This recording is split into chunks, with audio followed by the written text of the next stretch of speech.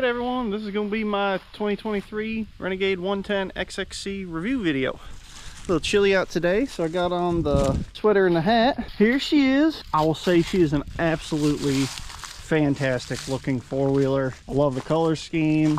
I love the little uh, coil-over shocks they give you with a nice little fake carbon fiber wrap on it. Gives a lot of the same lines as my actual Renegade talk about a few things I like about it first, and then we'll talk about a few things I really don't like about it. Already found some major flaws with this product. Um, things I like, aesthetics, look, styling, looks fantastic. Fuel injected. It's a fuel injected kid four-wheeler. So, I mean, you turn on the key, hear that fuel pump going. Got to have the brake on. Fires right off. I love the little exhaust note this thing has. It's got a nice deep tone to it. It don't sound whiny or like a weed whacker or anything like that. The suspension is very soft and very plush. I'll say it's almost too plush. Uh, as soon as you sit down on the back here, at least with my 200 pound butt on it, we are straight bomb down the suspension already. Now, when my daughter's riding it, she doesn't really have that much of an issue, but being that it is a 110 and these things have quite a bit of power, most of the time I'm riding on it with her just because she's younger. I think I'm gonna have to turn up that shock in the back just to, you know, keep it from bottoming out all the time. Things I really don't like about it, these headlights, although they look cool, they're just tiny marker light bulbs that they put in there. So the headlights are absolutely useless at night. I mean, there's little to no light that you get from them. I'm definitely gonna have to upgrade those if I ever want to ride with her at night at all. Another major flaw I see that's not going to be an issue right now, it's probably gonna be an issue in years to come. If you look at these connectors, I don't know if you can see that white connector in there.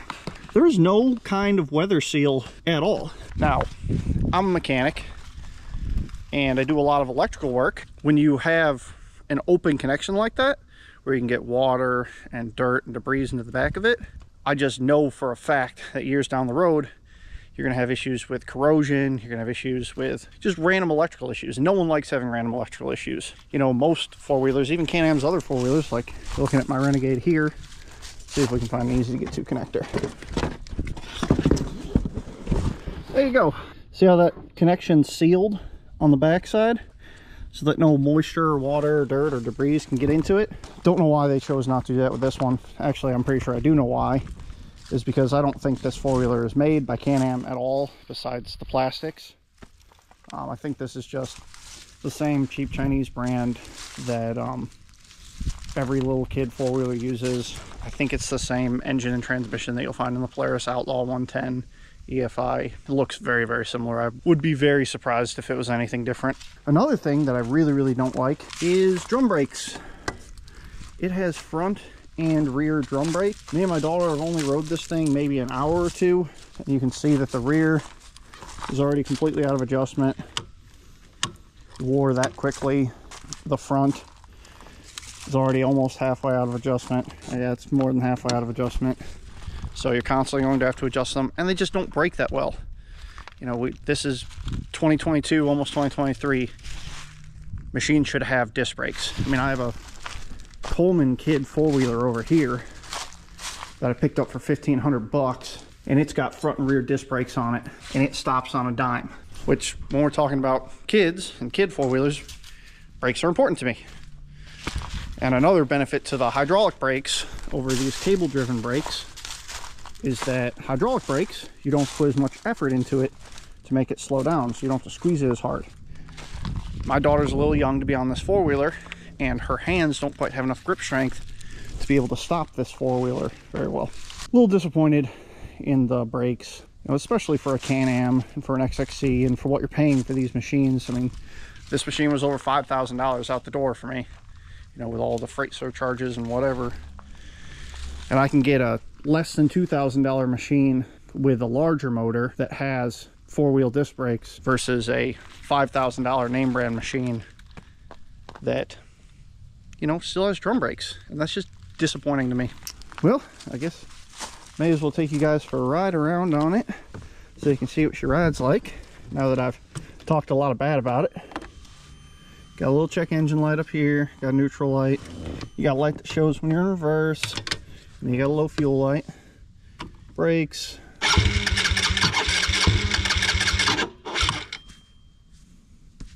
Yeah, no, it doesn't want to start.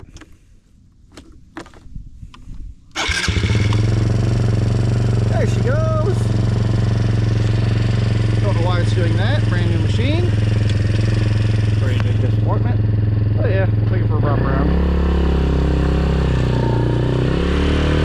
It does soak up the little bumps in the yard pretty well. Right there, I barely felt that one at all. And I will say that I'm 200 pounds and it has plenty of power with that belt system.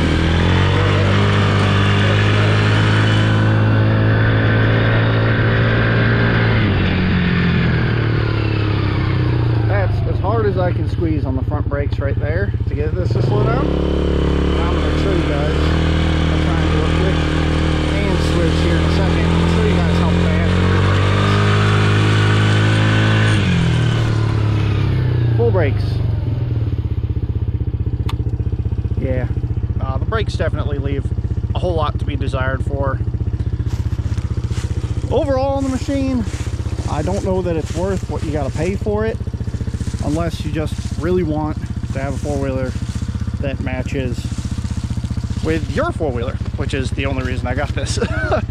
you know, you, you can't put a price on, you know, having a four-wheeler that's just like yours. And I got my daughter telling everyone, hey, look, I got a four-wheeler just like daddy's, just like daddy's. So really that's, if nothing else, that's where you get your value in this is just in the appearance of it and the fact that it's a Can-Am and it's a Renegade. But as far as drivability and um, what's your value for your money, which is pretty important to a lot of people, I'd say you can definitely do a lot better with a different four-wheeler. You kind of let me down on this one, Can-Am. Nonetheless, me and my daughter are going to have a ton of fun on it. Got her a helmet. We're going to get out on the trails and, you know, I'm going to have some cool little videos, daddy-daughter riding on this thing. I'll even throw in a couple clips here at the end from when we were blasting around the yard earlier with our helmets on. Y'all take care. In the camera? Look at my camera. You see you? Yeah. Are we gonna be YouTubers? Give me fives. you didn't even know about the brakes. Yeah. Did you splash daddy with the mud? Yeah. That's okay. Calls it mud. All right, go ahead. Go ahead. Whoa!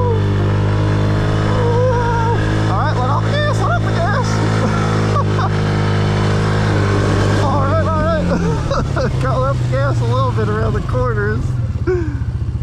Whoa! I flash you up